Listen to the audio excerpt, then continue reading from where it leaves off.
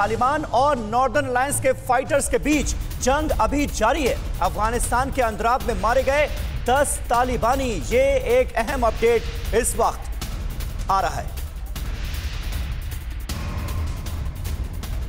अड़ी, सोमवार से शुक्रवार शाम छह बजे, सिर्फ़ टीवी नाइन भारतवर्ष पर।